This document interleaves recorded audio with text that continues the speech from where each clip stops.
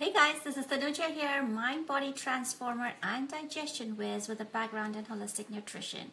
And I empower high achievers just like you to get your mojo back by helping you reconnect with your true self and by helping you nourish your body and your mind optimally. Now, I want to talk to you about stress today. You know, I guess it's a very common word, and, you know, there is a lot that is being said these days about stress and ways of de stressing and, you know, how it affects you. And yet, I find a lot of people are not really sure how stress is actually affecting their lives. And I wonder if you are one of them. So, one of the questions I always ask people that, you know, who are interested in working with me um, you know, do I, we get on a discovery call. It's about 30 minutes on the phone, and we we go over uh, health concerns that you have, and we figure out what might be at the root of those, and whether I'm the right person to help you or not. Irrespective of the kind of concern you have, whether you have sugar cravings, whether you have digestive issues, food sensitivities, whether you have uh, lack of energy, whatever the, the health concern may be that you, you are coming to talk to me for, I always ask you one question How are your stress levels? And if I asked you to rate it from um, a scale, say, of 1 to 10, I want to know how do you rate your stress levels and that gives me a very key um, indicator of what's going on with your life and how are you able to manage it. Now, if you're listening to this live or whether you're coming back and listening to the recording, do this exercise with me now. Rate your stress levels on an average, not at this particular moment, but on an average. If I asked you, how are your stress levels? Give me a number from 1 to 10. What would your number be? Right? So do this for yourself and make a mental note of this a lot of times people will tell me six, seven, sometimes nine, sometimes even 10, depending on what's going on with your life uh, at that particular time. Very rarely have I seen anybody go below six. The most popular answer I get is seven, eight, or nine. Now, that tells me that your stress levels are high. But when I ask you, so what do you feel about that? Um, do, do you feel stressed out? One of the most common answers I get also is, no, I can manage it. I think I'm okay with the stress. Okay, now that is key number two. So the first key for me was what number you gave me. Second is your response to the number. So when you give me a number like say seven, eight, or nine, eight or eight or anything above it is definitely high, right?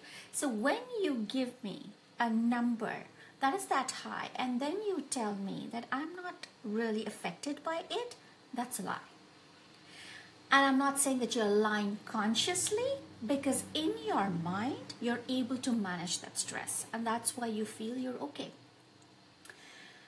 How it affects your body is through your symptoms.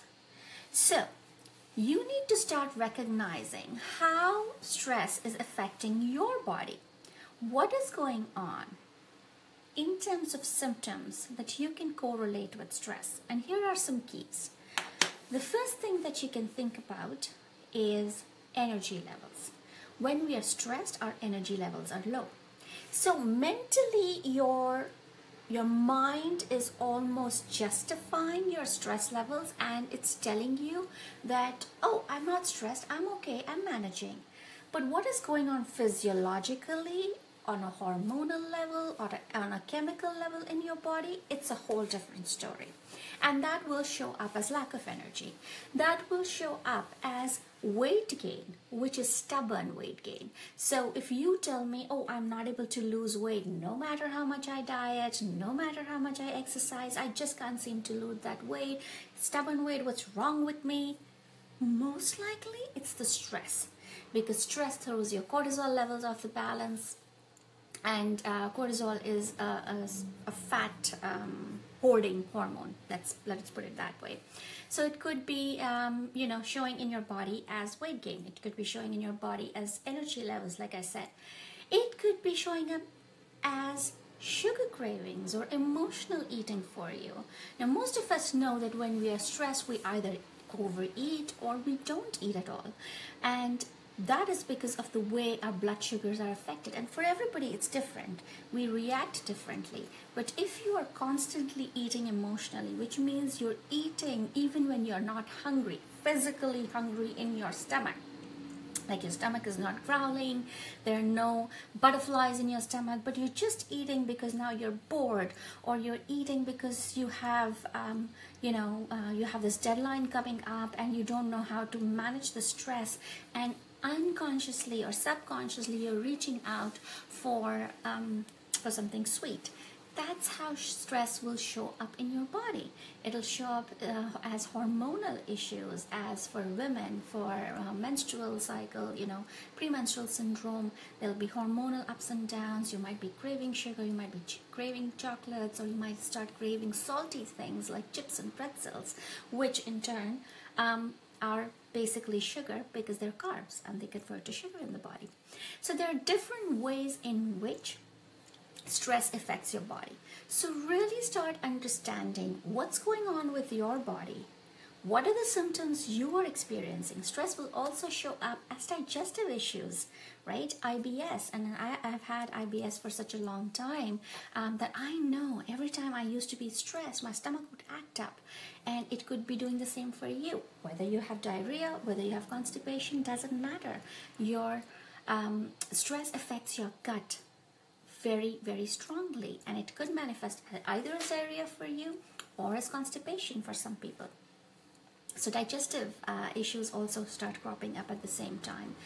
Um, there are several ways in which stress affects you. So when you're telling me, oh, it's okay, and I'm able to manage it, and yet you feel out of control, yet you feel that, you know, oh, I'm getting irritated and snappy, and um, I'm not pleasant to be around anymore, and people are literally shying away from, you know, um, chatting with me, or my family or my kids don't come near me anymore because they never know when I'm going to snap at them and scream and shout these are all the effects of stress, and you need to start recognizing this.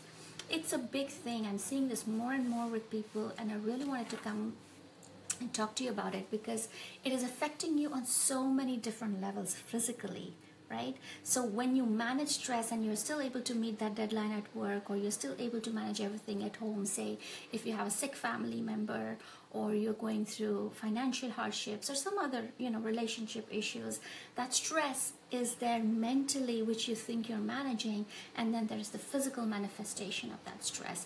And I am concerned with both, right? Because our body and our mind they, they are they, they are working in sync all the time. Here's your body, here's your mind, there's a fusion of it, and that constitutes your well being. That shows you where your health is at. So when you say I want to be more healthy, you got to start monitoring your stress levels. You got to monitor how you're feeding your body and how you're feeding your mind. It's very very important.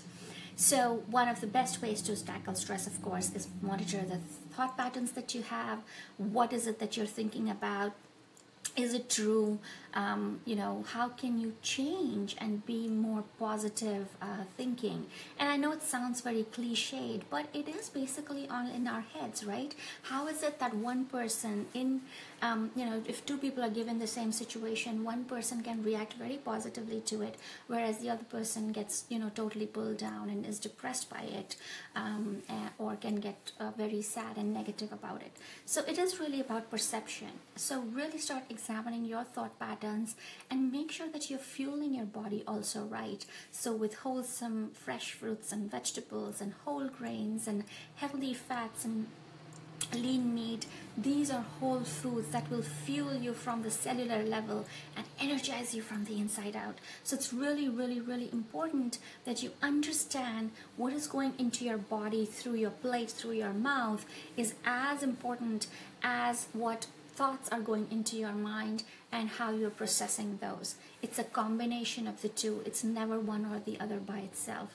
At certain times, you might be eating crappier because you're more stressed, and you know, vice versa. So it's it's just uh, sometimes very complex, but th- that's where you know when you work with me we figure out what's going on both in your physical world in your symptoms in your um, mental world like what what dialogue are you having with yourself? It's a combination of the two. Holistic nutrition is about finding that holistic approach. It's the mind, body, and spirit. It's never just about the food. Don't eat this, don't eat that. Sometimes just taking care of your stress levels and having the strategies that we go over in our customized one on one sessions is good enough to get rid of your sugar cravings or emotional eating, and then your weight starts dropping and your energy levels increase, and it's just, um, you know, a snowball effect from there onwards so it's a very delicate balance of where do you start first? Do you do both simultaneously? And that's where i step in and i sort of chart out that custom program for you.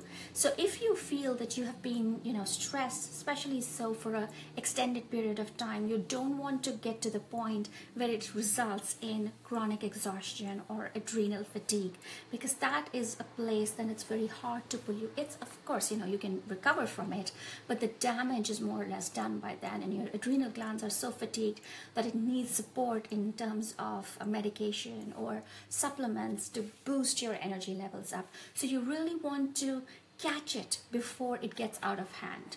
And with stress being so rampant, it is important that we take action now rather than wait for tomorrow and day after. And let me tell you, there is never the perfect time that will emerge upon you.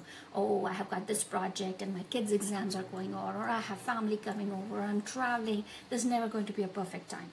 There's always something happening in life. So you need to make sure that you're prioritizing it and making this you know like a top first on your list because otherwise you'll just be feeling more tired you'll be gaining more weight you'll be feeling crappier you might have breakouts more digestive issues and we don't want that. We want to live fully. We want to live energetically. We want to be able to do the things that you know that make us happy. So get on with it figure out what's going on and if you can't reach out, let's chat and figure out um, what I can do for you. I do customized um, 12 or 90 day uh, 12 sessions or 90 day packages and that's how I work one on one with you. So we are really getting down to the root cause of your issues and what's causing your symptoms and how can we get rid of them address them from the root onwards so that it's just gone, eliminated, and you can go on with your life right? So um, I'll talk to you again soon. Hope you found this helpful. If you're watching this on the replay, feel free to leave me a comment, ask me a question. I'll come back and answer it for you. And I'll see you soon. Take care. Bye.